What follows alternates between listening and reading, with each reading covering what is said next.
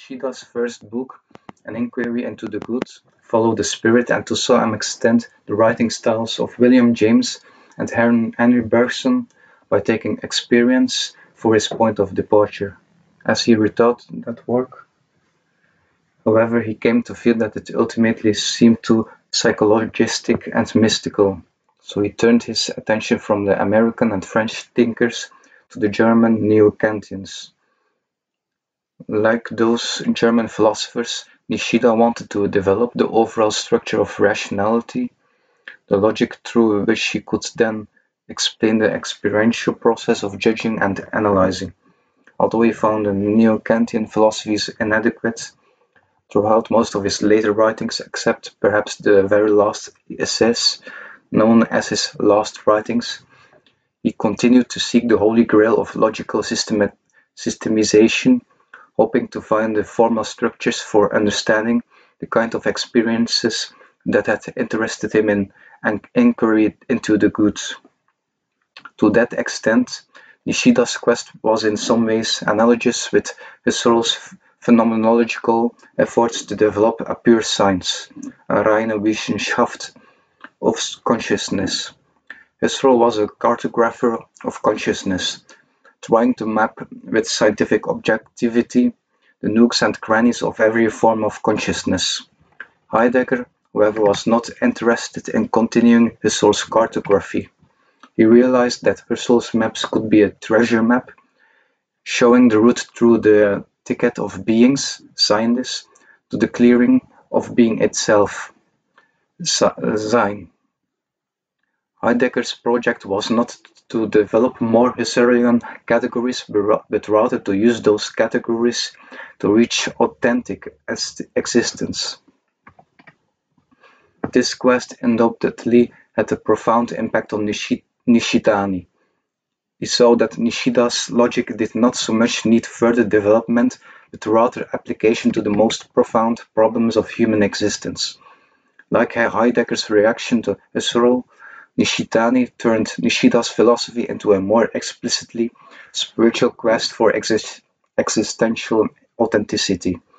The aforementioned, aforementioned book, translated as Religion and Nothingness, was entitled originally Shukyo to wa Nanika, What is Religion? And, it, and its title fits this model well. Nishitani also, also published a series of lectures on Dogen, wrote about Meister Eckhart, compared Shinran and Western spiritual views of temporality and fate, and so on. Further, as Heidegger's later writings broke the pattern of the dry scientific writing style of Husserl, Nishitani also tried to write in a more existential manner. However, more like the uh, actually more like the French and American style of Nishida's maiden work than his later more Germanic rhetoric. As the topic of experience again came to the fore in Kyoto school philosophy, Nishitani never hesitated to draw explicitly on the traditional philosophies of East Asia in his writing, so much as Heidegger drew on and celebrated the ancient philosophers of the Western tradition, especially the pre-Socratics. Tanabe Hajime with Nishida his senior, Tanabe was the other major first-generation member of the Kyoto school. As this book explains, we find two phases in Tanabe's thinking. After his early work in Kant and the philosophy of science, Tanabe turned to the structure of the logic that, that Nishida had been developing. According to Tanabe, Nishida had fallen into a problem that he had inherited from Hegel's logic, namely construing the dialectical, dialectic in terms of two moments, the universal and the individual, or the genus and individual. Missing was the level of the specific or the species. Or human existence, Tanabe claimed, is most manifest not in a dynamic between our universal humanity and our individuality, within our specificity, the medial plane, that is the home of culture, ethnicity, and society. It is only there that language, though thought, meaning, and value emerge. Indeed, the universal and the individual are abstracted and articulated from this plane. That is, we become individuals in a society or culture and we discover our universal humanity and language and meanings learned within our social and cultural milieu. Tanabe's critique of Nishida's logic had much philosophical merit, but it turned out to be the right idea at the wrong time. Ethnocentrist and jingoistic ideologies quickly appropriated his theory and used it to buttress their idea of the primacy of being Japanese as superseding individual needs or, or any universal morality based in our common humanity. Witnessing the application, misapplication of his ideas transformed into the tragedy of Japanese militarism and its inevitable defeat. Tanabe's underwent a repentance or change of heart, metanoia in Greek, zange in Japanese. The work of one of his great graduate students at Kyoto School, Takeuchi Yoshinori, turned Tanabe to a deeper appreciation of the philosophy of Shinran, the aforementioned founder of the Pure Land tradition of Shin Buddhism. Inspired by that pre-modern Japanese philosopher, Tanabe wrote in his philosophy as metanoetics, because Shinran's philosophy is probably not as well known in the West as Zen philosophy.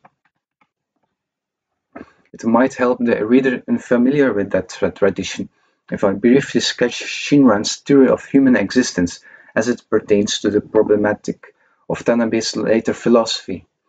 Shinran maintained that human existence is so embedded in the karmic results of evil that even our attempts to be egoless, rationally objective, or altruistic end up being self-deceptions that only need feed the ego further. How can I, Shinran asked, asked, asked, eliminate my ego? If I succeed, has the ego really been eliminated?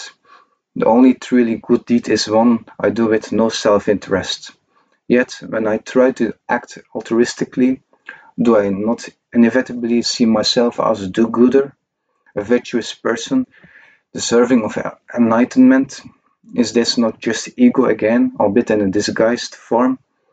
In response to this predicament, Shinran claimed, must completely relinquish all presumptions that we can reach the wisdom and compassion of enlightenment through our own efforts. To do so, we turn over all agency to a power outside us, no longer trusting ourselves to figure things out, hakarai, or to transform ourselves through our own efforts, jiriki, and talents. This genuine faith or true and trusting turns over agency to the working of another the cosmic Buddha Amida.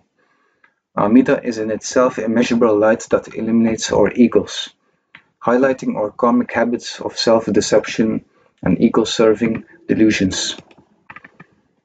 As compassion, that light takes the form of a Buddha who establishes a dimension, a pure land, where enlightenment is possible.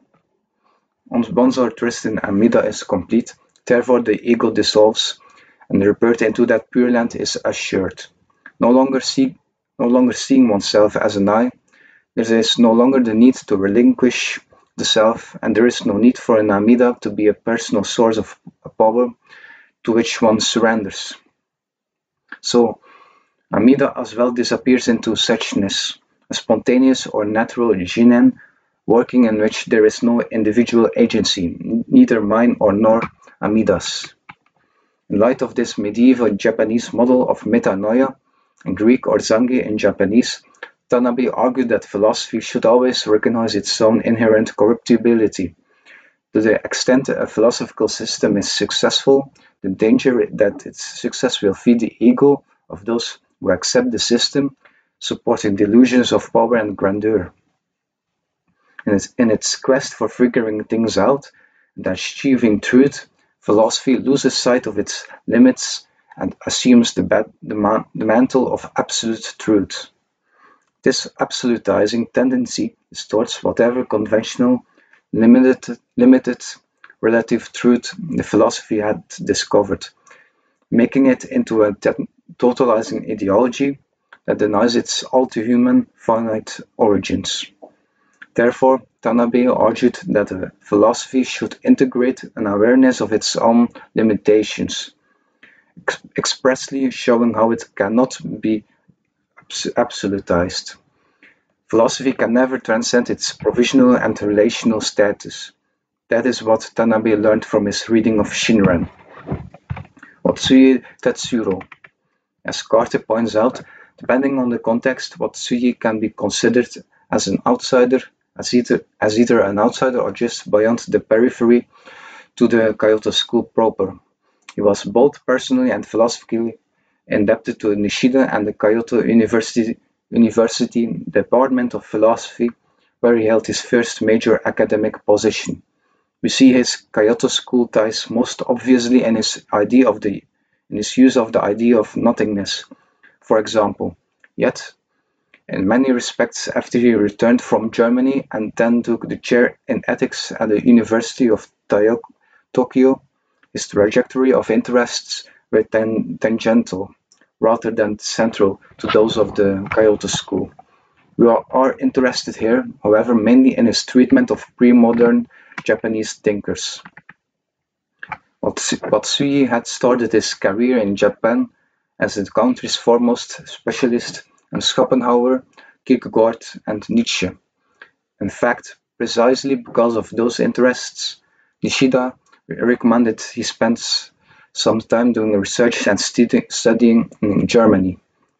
At about the same time, however, Watsuji's father, a physician in the Chinese tradition steeped in Confucian values, argued him not to abandon, abandon his own cultural roots, especially as Japan was undergoing such a radical social and cultural upheaval. Therefore, from the late uh, 20s until his death, at least half of Watsuji's writings were analyses of and reflections on traditional Japanese ideas and values. He wrote many volumes on such topics as the history of Japanese ethical ideas, the pragmatic character of early Indian Buddhism, the aesthetics of various traditional Japanese art forms, such as Noh drama, temple architecture, and Buddhist sculpture. His uh, 1926 book, Shamon Dogen, Dogen the Monk, might be considered the single most influential work in modern Japanese philosophy's engagement with traditional Japanese Buddhist philosophy. For the first time, a modern Japanese philosopher had treated, had treated a great Japanese religious thinker not as a saintly figure shrouded in the aura of sectarian veneration, but as a fellow human being driven by philosophical, philosophical questions. This started a trend in modern Japanese philosophy that continues today. With these few comments in mind about what Japanese philosophers brought with them as they developed modern Japanese philosophy, we can now turn the task over to Bob Carter, who will take us through his entry gate into the Kyoto School. Readers will feel fortunate.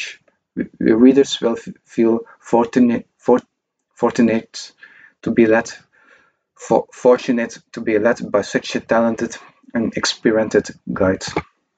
Thomas P. Kasulis, to Ohio State University.